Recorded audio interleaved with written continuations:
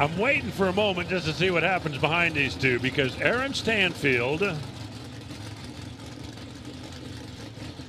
Go ahead, burnout.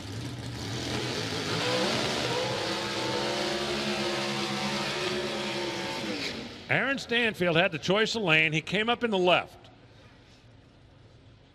Now, you can make that determination at any point until you start the car and start the burnout. So Aaron was well within his rights to turn on the turn signal and go over to the other side of the racetrack. The car behind him, the pair behind him, the car with lane choice is Greg Anderson. Greg is sitting in the left, and he has not yet turned on the turn signal. But depending on what happens with the pair in front of him, he can if he wants to. He does have Kyle Koretsky sitting right in front of him. We're talking about the Lucas Oil KPK car, the Nitro Fish team that is part of KB Racing.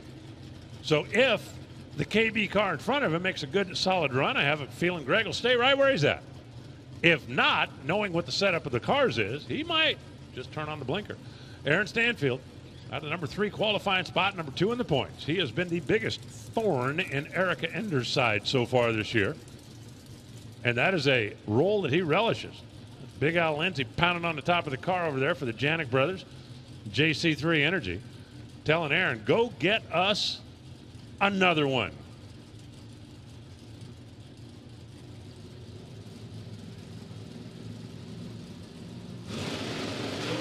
Red light.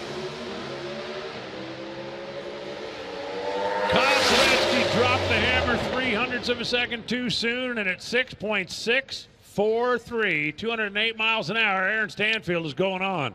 Koretsky goes 6.66 at 205, but he was 029 on the wrong side of the tree, and Aaron Stanfield will advance 664, and now we'll just wait and see how that stacks up with the rest of the field. 6.643, 208, 84.